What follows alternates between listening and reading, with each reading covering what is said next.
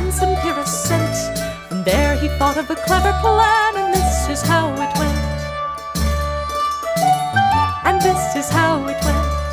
When the noble pair below were seated on the ground from up above, young Pyrrhus made a show of looking shyly down. My lord, I cannot blame you, but it seems to me unwise to kiss your wife so boldly here and right before a servant's eyes.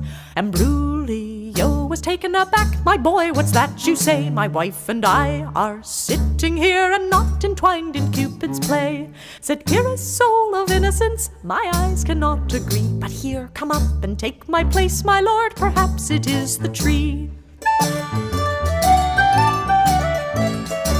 So up into the pear tree the foolish husband went, while Pyrrhus thought of the prize below.